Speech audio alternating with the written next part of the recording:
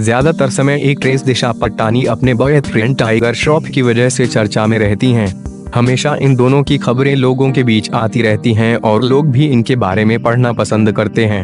हालाँकि अब दिशा पट्टानी ने इतना बड़ा बयान दिया है कि लोग दंग रह जाएँगे। हम शर्त लगा सकते हैं कि बॉलीवुड में आज ऐसी बहुत कम ही हीरोइनें होंगी जो ऐसा विचार लोगों के सामने रखने का मादा रखती होंगी।